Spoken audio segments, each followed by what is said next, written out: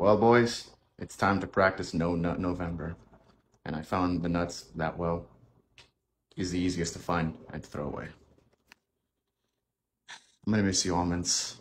You're good, but I gotta commit to it. It is November after all. I'm sorry, almonds.